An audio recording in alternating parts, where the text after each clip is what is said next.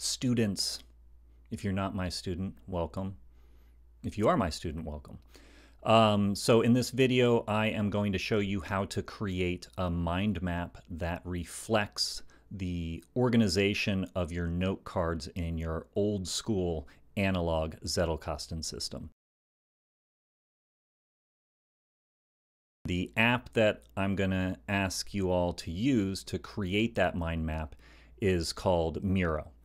So in order to get that app, you should go to the Miro website and click on sign up for free. And it asks for your work email. I would just recommend that you log in using your school email account. Once you have signed up for a free Miro account, you're going to be able to make, I think, up to three editable, editable boards you're going to need to make just a single mind map. So you'll use just a single board, as they're called in Miro. Now, if you want all the features that Miro has to offer, you should use Miro in its web-based form. Um, you don't have to do that, um, especially for the purposes of creating a simple mind map. You certainly do not all need access to all of Miro's features. So if you want to use the desktop version, laptop version, um, tablet version, phone version, it should be fine. Uh, and you can get access to those on the Miro website. So I'm using Miro in the web browser right now. This is a Safari browser. So to create your mind map, simply go here and click on add a mind map. Then over here, we're not going to use this stuff, at least not now we're not. So if you click on this, and it gets highlighted with this rectangle. You can hit the delete or maybe the backspace key and that will delete that branch. And then let's click on this one as well until you see that blue rectangle there. I'm going to hit delete again so we don't need any of those. And then the first branch that we're going to create is the one for the examined life. I think that was just the number one. The examined life. The next one to type is 1.1 philosophy. And then to create a new node after this one, just click on this plus sign. And the next category, or what I had in class called a folder card, is the one titled uh, Definitions of Philosophy. Then hit the plus button again. And this is finally where we got to what I referred to as an idea card. And so this one is, uh, the number for this one is 1.1.1 dash 1. And the title of this one was Philosophy equals Thinking About Thinking. And just so you know, as I'm, I'm scrolling around here, I'm using a trackpad on my laptop, and with two fingers, I can just move around. Um, if you're using a mouse, I think you want to be right-clicking, and then, yeah, right-clicking, and then you should be able to, to move the canvas around the same way you see me doing here with the trackpad.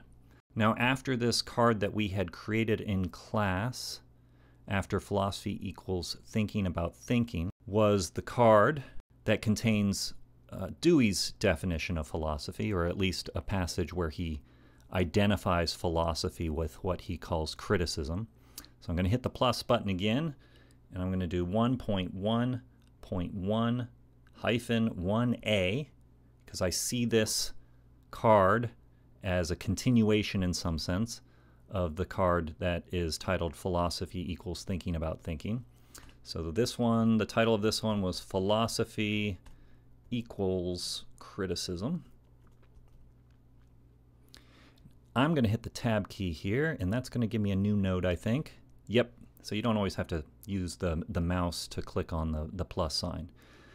So branching off from this one were two notes.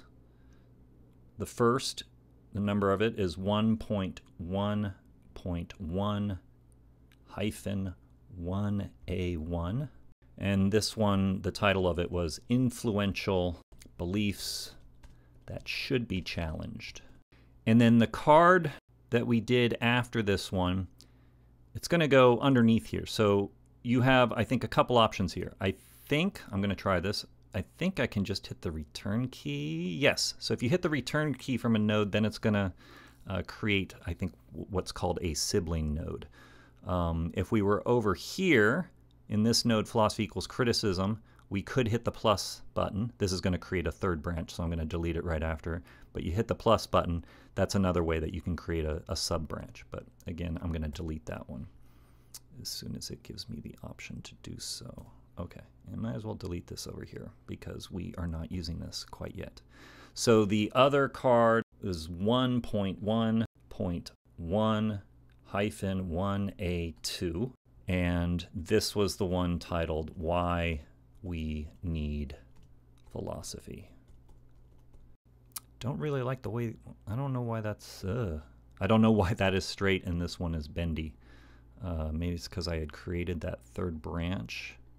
I'm going to cut this, put it here, see if this helps at all. Yeah, that helped a little bit. And I might be able to move this a little bit. Yeah, so I can manually move this. So that, and here I'm going to pinch zoom, I think, so you can see the whole thing. Yeah, we don't need this over here. We're not using this quite yet. We'll eventually branch off. We'll have other branches um, from the examine life. But this is basically what your mind map that reflects your analog Zettelkasten. This is what it should look like based on the cards that we have created together in class. Pretty quickly, your mind map is going to, yes, it's going to continue to have these cards in it, uh, but pretty soon it is going to diverge significantly from the Zettelkasten mind maps that you're going to see your fellow students creating. So once you have done this, you're close to being done with the assignment. The next thing to do is to get a link to this board or the web URL for this board. And to do that, you go back to your uh, home page or whatever it's called here, and you find the board that you want to send, and it's this one here. Click the three dots, and then click this to copy the board link, and then you will take that link and paste it into where you're supposed to submit the assignment in Canvas. And that's it. I hope that was pretty straightforward. I know you cannot wait to continue working on your old school Zettelkasten. Not just my students, but anyone else who might be watching this video. Hit subscribe or something like that. That's what you're supposed to do on YouTube. Out of here.